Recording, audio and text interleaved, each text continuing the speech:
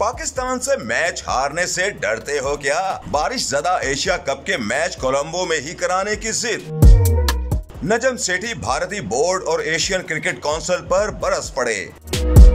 Asia cup के super four मरहले के दौरान मुसलसल बारिशों की पेश गोई पर पीसीबी और क्रिकेट फैंस ने इवेंट के बकिया मैचेस किसी दूसरे वेन्यू पर मुंतकिल करने का मुतालबा किया। मगर भारतीय बोर्ड के जेर असर एसीसी ने पहले वक्त बर्बाद किया और फिर कोलंबो को ही वेन्यू बरकरार रखने का यक तरफा फैसला सुना दिया। जिस पर पाकिस्तान क्रिकेट बोर्ड के सबक चेयरमैन नजम सेठी भारत के खिलाफ फट पड़े और तंजिया अंदाज में सवाल उठाया कि क्या इंडिया पाकिस्तान के साथ मैच खेलने और हारने से डरता है।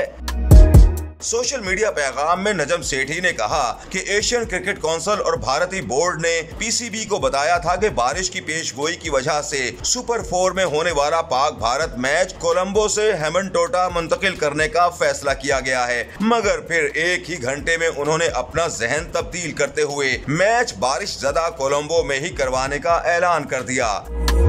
सेठी ने अपनी पोस्ट में कोलंबो और हेवन टोटा का 10 दिन का वेदर फोरकास्ट भी शेयर किया और कहा कि जरा इन दोनों वेन्यूज पर मुसलसल बारिशों की पेश गोइयाँ भी देख लें।